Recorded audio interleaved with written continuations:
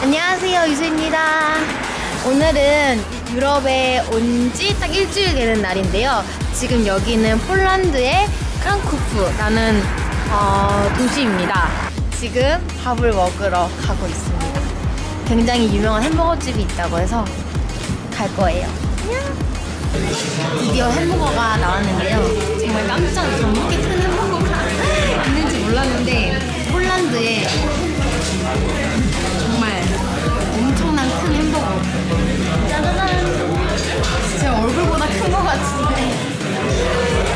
와 진짜 이 거대한 햄버거 제가 다 먹을 거예요. 자.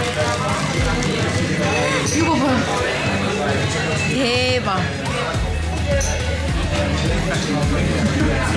진짜 먹기 아까운 비주얼인데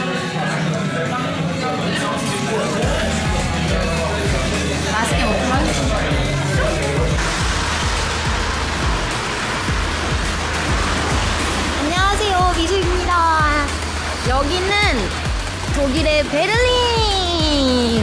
제가 유럽 투어의 네 번째 공연을 여기 독일 베를린에 사게 됐는데요.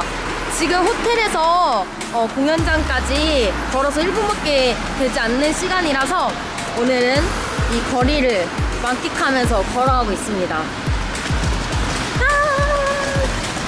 베를린이 벽화 그림 있잖아요.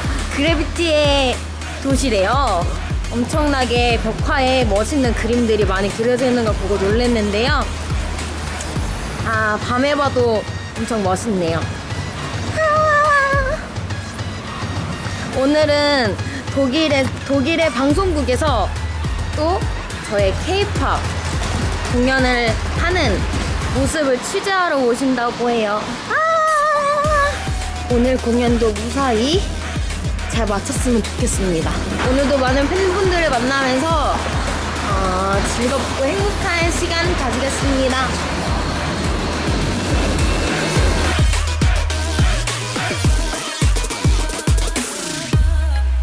어, 유럽에 첫 와서 독일에서 첫 공연을 했는데요.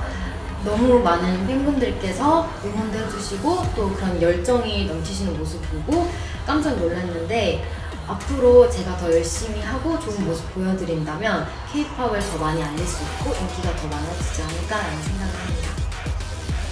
단ke 쉐. 감사합니다.